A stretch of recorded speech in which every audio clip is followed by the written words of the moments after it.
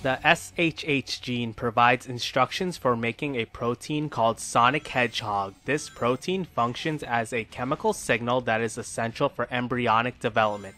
Sonic hedgehog plays a role in cell growth, cell specialization, and the normal shaping of the body. This protein is important for development of the brain and spinal cord, eyes, limbs, and many other parts of the body. Sonic hedgehog is necessary for the development of the front part of the brain.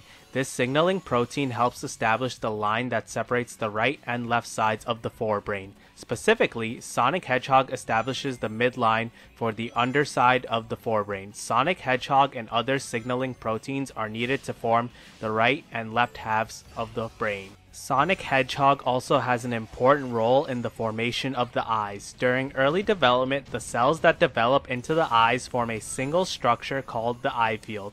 This structure is located in the center of the developing face.